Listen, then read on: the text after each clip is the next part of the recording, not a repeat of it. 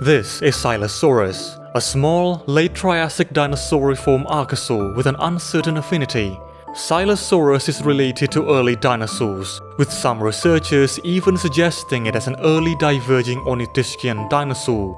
It was lightly built, measuring around 2.3 meters long. It had a small, slender, and somewhat triangular shaped skull with relatively large eyes. The jaws were narrow with a small beak-like spur on the lower jaw. It had small teeth, serrated and conical in shape, indicating an omnivorous diet.